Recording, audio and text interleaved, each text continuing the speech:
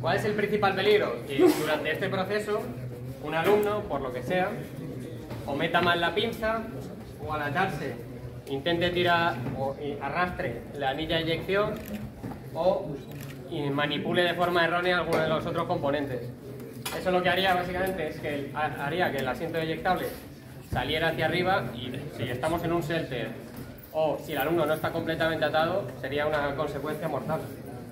Por eso es importante practicar todo esto en un entorno seguro, sin explosivos ni, ni otro tipo de eh, componentes peligrosos para que el alumno pues, sufra, no sufra los riesgos de, de la primera operación con este sistema.